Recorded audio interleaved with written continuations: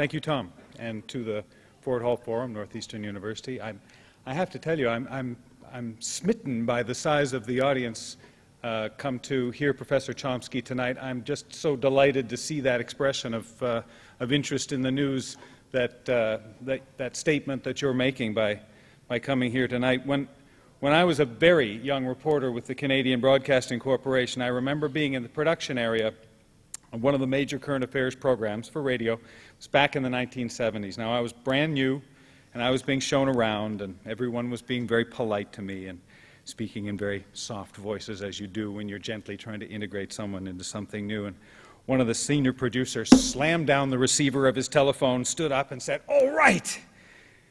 It was a sort of 1970s version of yes! Everyone turned to him, and he smiled like this trophy fisherman. And he said, We've got him. There was a pause of expectation in the room, just like this one now. We've got Chomsky, he said and a sigh of satisfaction in the room. Now, I was a very young reporter. I knew the name, but being the ace cub reporter wannabe that I was, I knew I had to find out a little bit more about the man. So I thought, well, that's simple. I'll just read what he's written. right. 30 years ago, that was a full time job. Even today, just keeping up with the uh, writing of Noam Chomsky is a full time job. He has written over 70 books, over a thousand articles. He writes about linguistics, philosophy, intellectual history, contemporary issues, international affairs, and U.S. foreign policy. Mr. Chomsky was born in Philadelphia. His undergraduate and graduate years were spent at the University of Pennsylvania, where he received his PhD in linguistics in 1955. While he was a junior fellow at Harvard, he completed his doctoral dissertation entitled Transformational Analysis it later formed part of a more extensive work called The Logical Structure of Linguistic Theory. Noam Chomsky joined the Massachusetts Institute of Technology in 1955 and in 1961 was appointed full professor in the Department of Linguistics and Philosophy. From 66 to 76, he held the Ferrari P. Ward Professorship of Modern Languages and Linguistics. In 1976, he was appointed Institute Professor, a position he holds today. In the spring of 1969, he delivered the John Locke Lectures at Oxford. In January 70, the Bertrand uh, Russell Memorial Lecture at Cambridge University. In 72, the Nehru Memorial Lecture in New Delhi. In fact, we were just exchanging remarks behind uh, the curtain here about a trip that he just completed in, uh, uh in India.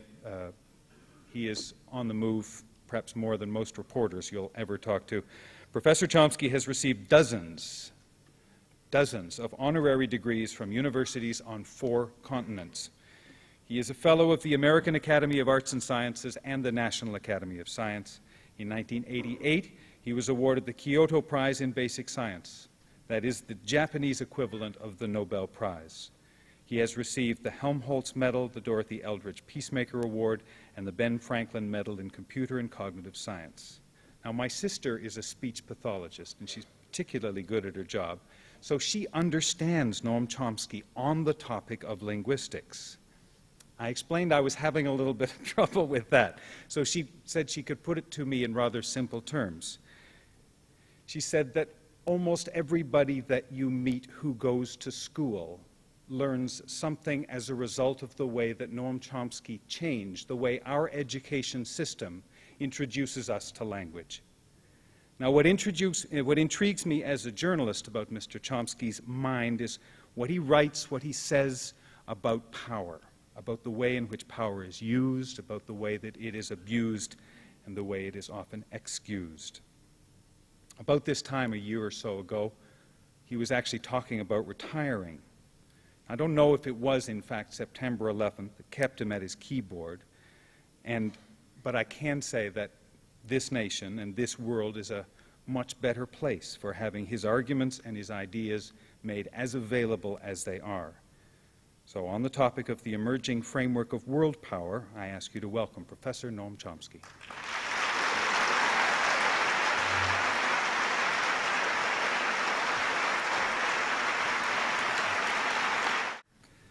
Uh, it's uh, widely held that the post September 11th world will never be the same.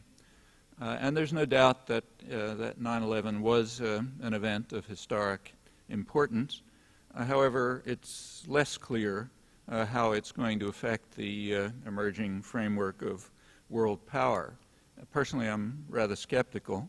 I suspect that we may discover down the road that it has established more firmly tendencies that are already underway and are rather deep-rooted. Well, to clarify the basis for that judgment, it's worthwhile to think about a few background issues, uh, in particular, two questions, and I'll start with those. Uh, first is, why is it a historic event? Uh, and the second is, why did it happen? Uh, I should say that these questions themselves often elicit uh, highly irrational reactions, as if uh, seeking explanations and trying to place events in a historical context uh, amounts to uh, what's sometimes called rationalization uh, or implies that the victims deserve to be murdered. That's very common, but it's so outlandish that it's hardly necessary to comment, and I'll put it aside. Uh, it's a comment about the people who raise the questions. Other than that, not worth discussing. Uh, so first, why is it a historic event? Well, the answer to that is simple. Uh, it's because of the choice of victims, uh, not the nature of the crime. That much should be obvious to anyone who's familiar with the uh, record of the past several hundred years, which it should be unnecessary to review. Uh, however, it may be useful, I think it is, to listen to some voices of the traditional victims uh, reacting to September 11th. So take, say, Latin America particularly important to us. Our shadow's been cast there very heavily for a long time. Uh, September 11th atrocities were very harshly condemned, as they were virtually everywhere, but quite often uh, uh, with a recollection of uh, their own suffering. So in Central America, uh, perhaps the leading research journal is the uh, Journal of the Jesuit University in Managua, uh, they described uh, the events of, they said the events of September, September 11th could be described as Armageddon, but added that we have suffered our own Armageddon uh, in slow motion, referring to the atrocities of the 1980s, which was an international terrorist attack uh, condemned by the World Court, as you know, and it would have been condemned by the Security Council if the United States hadn't vetoed it uh, and that was more serious than September 11th. Tens of thousands of people killed, the country wrecked, may never recover. Uh, so yes, this may be Armageddon, but it's not new to us. Uh, in Panama, uh, a journalist, uh, a radio journalist, uh, like others, bitterly condemned the September 11th atrocities, but added that we're familiar with it. he referred to the attack, the bombing of the Barrio Chorrillo uh, in November 19, December 1989, uh, when uh, uh, the United States invaded Panama. In that one bombing, according to Panamanian sources, uh, several thousand people were killed in the poor Barrio. Since it's our atrocities, we don't investigate, and nobody really knows the details, but it was certainly serious.